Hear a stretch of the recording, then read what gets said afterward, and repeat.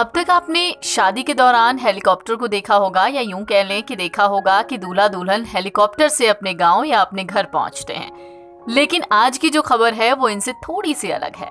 महाराष्ट्र के पुणे ज़िले में एक किसान ने अपनी पोती का स्वागत बेहद अलग अंदाज में किया। तस्वीर में आप हेलीकॉप्टर देख रहे होंगे। जी हाँ इसी हेलीकॉप्टर में आई महाराष्ट्र के किसान की पोती। किसान अपनी पोती के जन्म से इतना खुश हुआ कि उसने पोती को घर लाने के लिए हेलीकॉप्टर बुक कर लिया।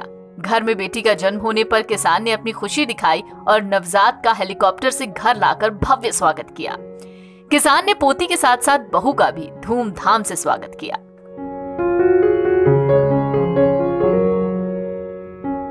पुणे ज़िले के बालेबाड़ी के रहने वाले किसान अजीत पांडुरंग बलवटकर ने बच्ची को अपनी नानी के यहाँ से दादा के घर लाने के लिए हेलीकॉप्टर किराए पर लिया।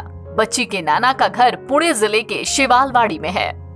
पूरा परिवार नए मेहमान के स्वागत के लिए पहुँचा और हेलीकॉप्टर से बच्ची को उतारकर घर लाया गया। यही नहीं, घर पर बच्ची के स्वागत का पूरा इंतज़ाम था। पूरी गली को सजाया गया, आतिशबाजी के साथ घर में बच्ची का दाखिला हुआ।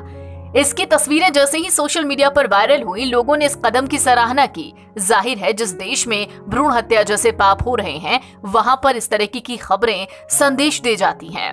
देश में अभी भी बेटियों के जन्म को लेकर लोगों के मन में अलग अलग धारणाएँ हैं। लेकिन जरा सोचिए इस किसान की मानसिकता कि अपनी पोती के स्वागत के लिए किसान ने एक हेलीकॉप्टर को बुक कर लिया।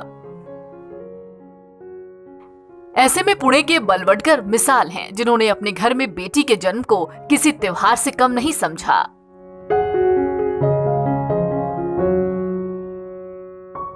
एनबीटी ऑनलाइन की रिपोर्ट।